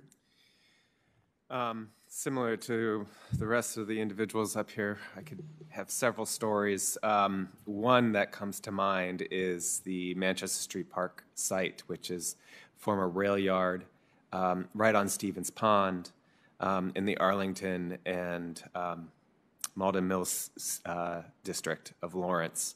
Um, when we did the park, when the city and groundwork did the park, all of the mills were, were quite dilapidated, and now there are there are hundreds of units of housing around the pond and near near the park.